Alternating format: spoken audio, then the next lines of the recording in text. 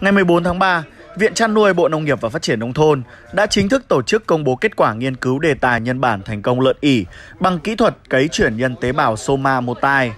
Theo đó, bốn chú lợn con đã chào đời khỏe mạnh, phát triển tốt từ công nghệ này. Ưu điểm của phương pháp này là dễ thao tác khi cấy chuyển nhân tế bào cho, tạo được nhiều phôi trong thời gian ngắn.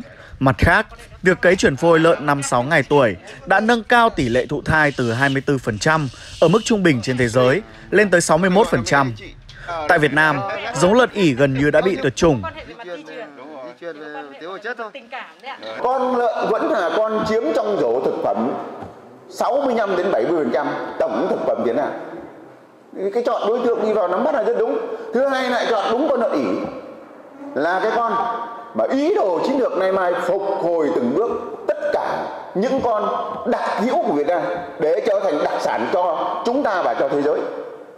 Qua một cái quá trình vừa sáng tạo, vừa kiên trì, chúng ta đã ra được cái kết quả cuối cùng là tạo ra được con giống. Chứ không bằng những cái sản phẩm hoặc là mô, hoặc là sản phẩm dở dang, hoặc là không thành thục do tác động rủi ro của cái dịch tả châu Phi như cái một số lô trước này. Nên từ kết quả này các đồng chí nghĩ ra hệ vector tiếp theo nghiên cứu.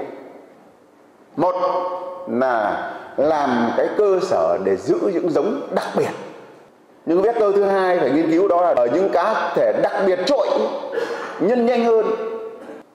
Cái thứ ba nữa để phục vụ cho bước tiếp theo ở mức sâu hơn không phải bây giờ thông qua cái việc này tới đây chiến lược phát triển chăn nuôi mới hoàn toàn cách tiếp cận chúng ta phải khác đây là một bước tiến vượt bậc về khoa học công nghệ của Việt Nam trong lĩnh vực nhân bản động vật, khẳng định và nâng cao vai trò, vị thế nền khoa học công nghệ của Việt Nam trong khu vực và trên thế giới là tiền đề mở ra hướng nghiên cứu mới về ứng dụng công nghệ sinh học trong chăn nuôi tại Việt Nam, như ứng dụng công nghệ nhân bản động vật trong chọn giống, bảo tồn các loài động vật có giá trị cao, động vật quý hiếm.